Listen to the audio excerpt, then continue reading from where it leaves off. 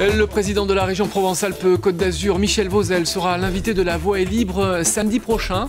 Euh, nous l'interrogerons sur son soutien récent à François Hollande, sur la réforme des collectivités territoriales, son engagement pour la Méditerranée, les grands chantiers de la région ou encore les affaires qui agitent le Parti socialiste. Rendez-vous samedi avec Michel Vauzel, 11h30 sur France 3 Provence-Alpes.